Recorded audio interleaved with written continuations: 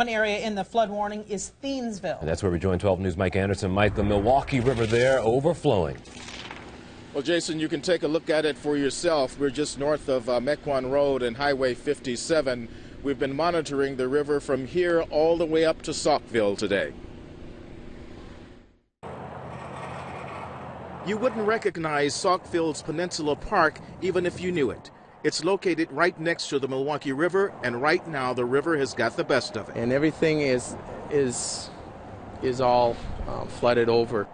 Saukville Patrol Officer Barry Effinger says normally at this time of the month of April, it would likely be flooded with children out playing. Yeah, all the way down to those willows down there is actually where the park is. So the the water is pretty well coming up over the banks here.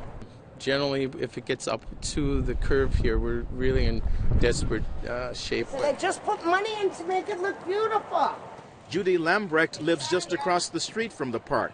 She says she just put money into her house to make it look beautiful. Now the water is messing it all up for her and some of her neighbors. There's people here that don't have these policies and they lose everything and they have to start from scratch and get the money together. She has lived here 12 years, and this is the second time she's had to deal with flooding. It's going to end up going in the garbage. You don't know when you buy a home, you think everything's, it, you're- it's not going to happen to you, but it does. And then you just move on and take life as it, as it comes. That's the way you have to handle Mother Nature sometimes. And tonight on 12 News at 6, we'll revisit a business we visited yesterday here in Thiensville to see how it is coping today.